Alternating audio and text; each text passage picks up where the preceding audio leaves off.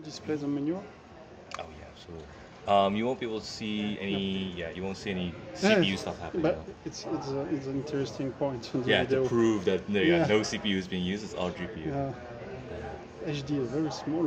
Yeah, it's it, yeah, kind of tough to see.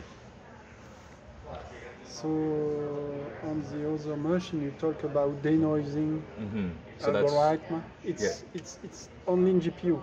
So that's a no. I think it's um. Well, it depends. If you use cycles, you can still use um, denoising. But this one was real-time denoising that you can do in your viewport. So when you do the viewport view where you move around and look at things and change the camera angle. It's working now.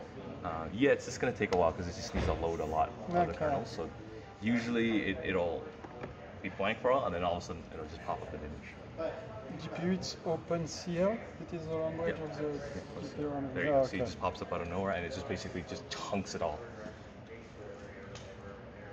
So what So- is your opinion now with a Mhm. six, uh, uh, 16 core? What is 16 the core. competition with? Uh, what is What don't know is if the main yeah. difference? The well, uh, our, our our architecture. I think you are don't render all the image. You are under a, si- um, a portion. Yeah, it'll do. It'll do. See, it's actually square by Ah, square square. Yeah, fine. that's what, that's so- that's kind of how it works. It's a little bit Okay. different. So apparently, the, the when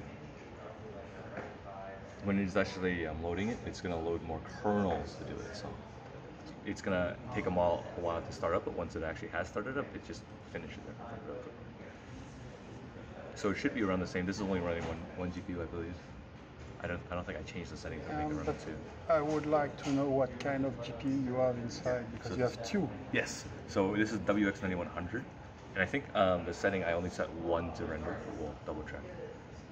If you could to show me in the Windows systems. Oh yeah, absolutely. It's for my customer. I have a lot of customers who are making rendering. So Yeah. So yeah, they would probably want to know uh, how fast.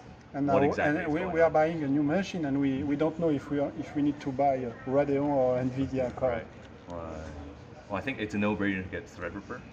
Yes, Um, and uh, we would like to buy Threadripper. So usually, and, and so we are moving to uh, your graphic cards. Mm, okay. Yeah, oh, there you go. and It's done. Okay.